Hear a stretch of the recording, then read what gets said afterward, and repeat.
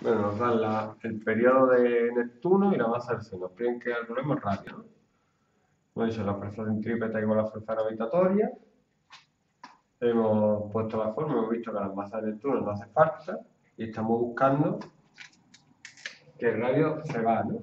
Bueno, si lo paso para allá, Sí, sí. no, porque queda R cuadrado partido. ¿Vale? O sea que todavía queda un R por ahí. Bueno, sí, pero me refiero que.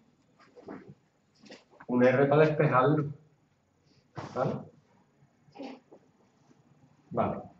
Entonces a mí solo se me ocurre que era lo que no quería hacer para no complicar la cosa. Lo único que se me ocurre es poner aquí la fórmula de la velocidad. La fórmula de la velocidad es 2pi por el radio puesto radio en Neptuno. Mira, R. La distancia a Neptuno. Por el radio partido T todo al cuadrado por R. ¿Vale? Hago el cuadrado. Esto era lo que yo no quería hacer, pero es que no hay otra manera. 4pi cuadrado por R cuadrado partido T cuadrado por R. R cuadrado por R es R cubo y te queda G por la masa del Sol. El 4pi cuadrado lo pasa dividiendo. El T cuadrado lo pasa multiplicando. Te queda R cuadrado por R, R cubo. ¿Vale? Y al final te queda la raíz cúbica. ¿Cúbica? Ujú.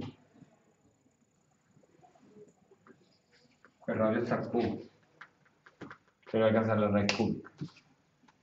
Entonces es verdad que no te hace falta más que la masa del Sol y el periodo. ¿Vale? Pero hay que hacer álgebra. Hay que hacer un poquito de álgebra. Y lo único que podría ahorrar una ciudad. Es que claro, ese aún no lo ha hecho en el pero. ¿Qué? Que ese aún él no lo ha hecho en el rato. Para tirar uno o dos horas dándole vuelta.